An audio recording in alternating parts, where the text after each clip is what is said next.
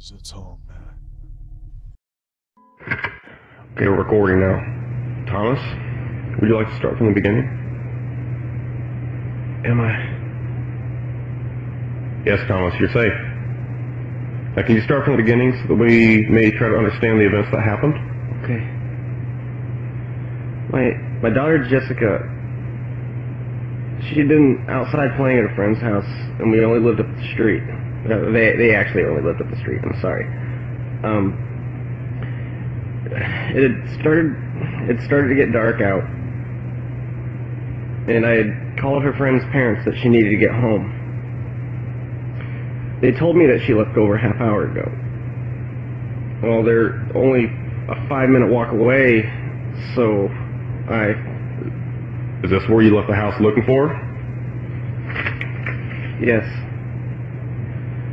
Um, we live in a wooded area, and I knew she liked playing there with friends, but going alone didn't make sense. Okay, so what happened next? I was calling Jessica's name, and it had been really getting dark out now. I was walking through the woods, looking and listening to anything. I remember suddenly feeling sick, like nauseous in the stomach, like I wanted to throw up. And I started getting ringing in my ears. Then I Thomas? That thing! That nightmare!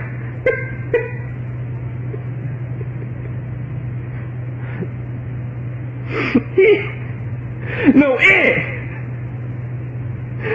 Jessica's clothes. One of its, one of its hands. you do. It's okay. Can you can you please describe what he looked like? It was tall. It, it appeared to be wearing a suit, but it, there's no way it was human. There's no way. the the arms were almost to the ground. I, I, I I've, ne- I've never seen anything like it. it it's it's It's okay, Thomas. We can continue. that horrible fucking face, just staring at me. But no, there was no face. There was no eyes. What did I see?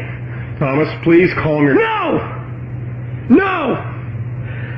I fucking saw you, son of a bitch! It took my Jessica! It's now coming for me! I can't sleep!